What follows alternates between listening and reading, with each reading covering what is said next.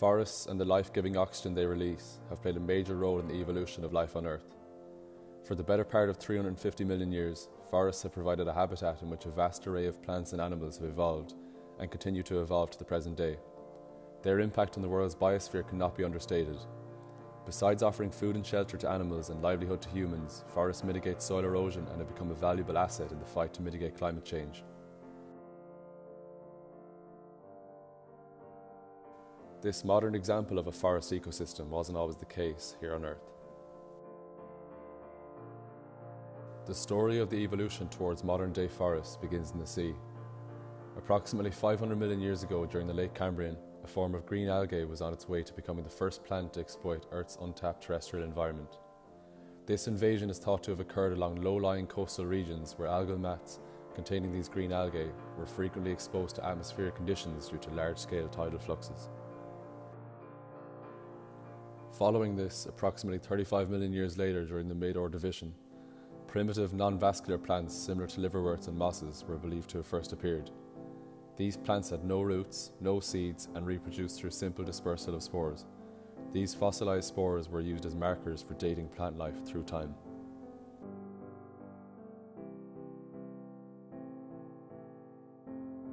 Early Devonian plants did not have roots or leaves, and many had no vascular tissue.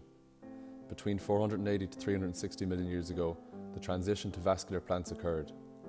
Fluids and nutrients were no longer absorbed to the cell, but transported through tissue that contained vessels and ducts. Capable of growing to greater heights and dispersing spores to greater lengths, primitive vascular plants such as Psilophyton acted as simple stepping stones to reach more successful seedless vascular plants such as ferns. Fossil evidence from approximately 380 million years ago records the appearance of the first known forests on Earth. This forest is preserved in New York and is named the Gilboa Fossil Forest. Some of the fossils were up to 8 metres in size and came from the fern-like group known as Cladoxylopsis. Larger trees of the extinct group Progymnosperms such as Archaeopteris began to evolve. These plants were the ancestors of modern conifers that reproduced using seeded cones that dropped to the forest floor. Archaeopteris was a primitive fern that grew up to 21 metres in height and remained part of the Earth's primitive forests for the next 60 million years. During the Carboniferous, from 355 to 295 million years ago, flora underwent an extraordinarily successful period, thought to have been a result of ideal environmental conditions, such as higher temperatures and shorter days across much of the globe. Never in Earth's history had there been more forests than in the second half of the Carboniferous.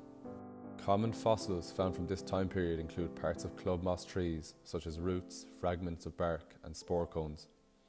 Horsetail trees, seed ferns, and herbal club mosses were also prevalent. During the end of the Carboniferous, large areas of wetland covered the tropical environments. A genus of gymnosperms called Cordaites were among the most common trees found within these coal forests. They had long, ribbon like leaves that could reach 75 centimetres in length.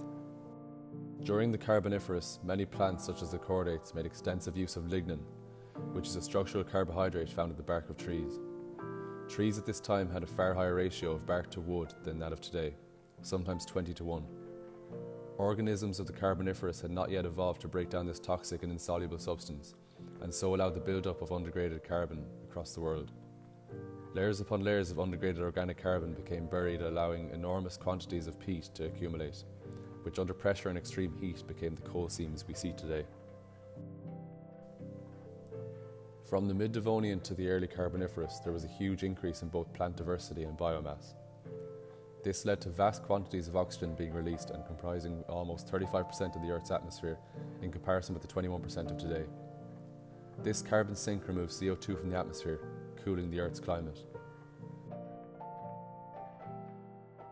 During the Middle and Late Devonian, the arrival of tree-like plants caused major impacts to both soil weathering processes and global geochemical cycles.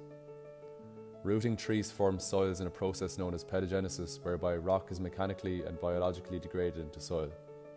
This led to large-scale environmental changes such as larger sediment yields and increased fluvial nutrient fluxes.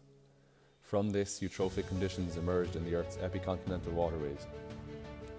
The bacterial breakdown of the resultant organic detritus led to mass algal blooms, creating global anoxic conditions. On land, many of these newly developing plants would soon become intrinsic to the creation of land's ecosystems through the provisions of both food and shelter for the newly integrated fauna. The evolution to forests is one of the most important sequence of events to be recorded in Earth's history. Beginning with green algae approximately 500 million years ago, Earth has evolved forests of immense diversity and incredible beauty, which remain intrinsic to our current existence. At present, forests cover 30% of the land and this is being reduced every day due to deforestation. The protection of our forests is paramount in preserving natural balance of geochemical cycles, soil weathering processes and precious ecosystems that exist worldwide.